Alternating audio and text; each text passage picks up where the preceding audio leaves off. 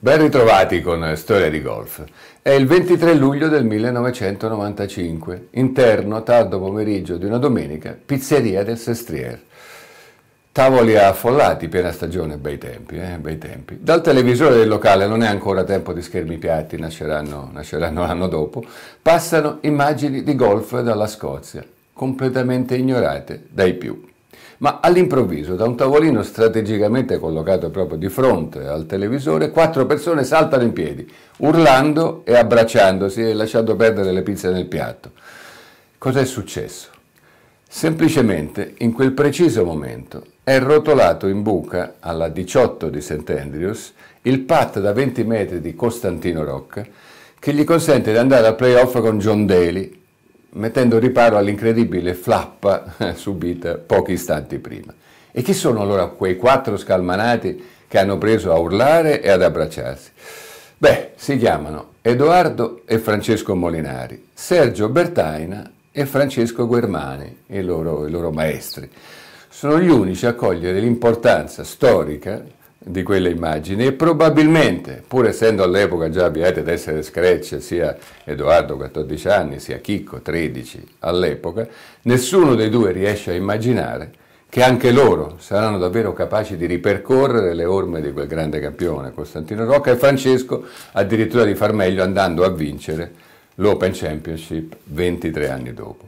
Erano lì i due fratelli d'Italia, sì per le vacanze al Sestriere, ma soprattutto per lavorare a fondo e su un campo tecnico e scosceso come quello del Sestriere, con i loro coach Bertaina e Guermani, perché la loro casa golfistica, il Golf Torino, la Mandria, fino agli otto anni non aveva consentito loro per regolamento di accedere al campo e loro avevano preso, visto che swingavano già da quando ne avevano cinque, l'abitudine d'estate al Sestriere, insomma, a darci dentro.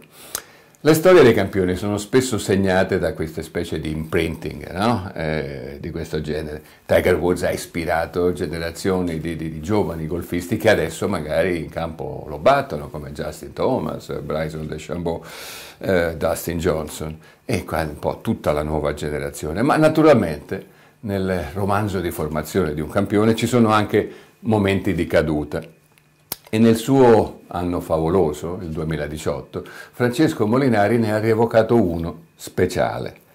Eh? È il 2003, otto anni da quella sera di pizze abbracci al Sestriere. I due fratelli sono ormai veri, veri protagonisti sulla scena amateur internazionale. Francesco è in semifinale al Royal Throne, un campo prestigioso sud-ovest di Glasgow, al British Amateur, il massimo no? per un dilettante europeo, match play.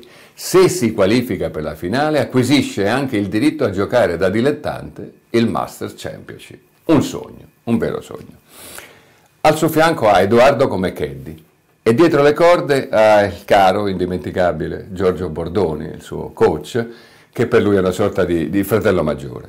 Ma contro ha il grande Gary Wolstenholm, 45 anni, uno che ha fatto tutta la carriera dilettante e passato però per scelta solo tra i senior. Chicco perde, purtroppo, perde alla 18, stringe correttamente la mano all'avversario ma il labbro freme, sta tentando a trattenere le lacrime, ma le lacrime erompono a dirotto quando lui, Giorgio Bordoni ed Edoardo si ritrovano seduti sulle scale che sono davanti alla clubhouse del Royal Throne e piangono a dirotto per il sogno svanito. Avrebbero creduto in quel momento a una vocina che gli avesse detto fra tre anni tu, Edoardo, giocherai il master da dilettante perché avrai vinto nel frattempo l'US Amateur a Marion e lo giocherai con il campione in carica Tiger Woods. Perché eh, appunto questo avrai maturato di diritto. E Francesco tu gli farai da caddy e Tiger, vedendoti in tutina bianca, ti dirà ciao, piacere, chi sei, che cosa fai nella vita?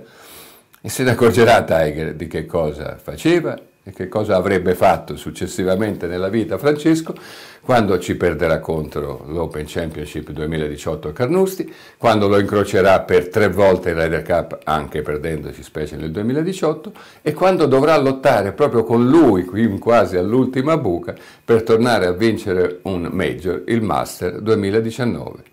Quanti anni, eh? quanta vita da quella sera di pizze e abbracci al Sestriere.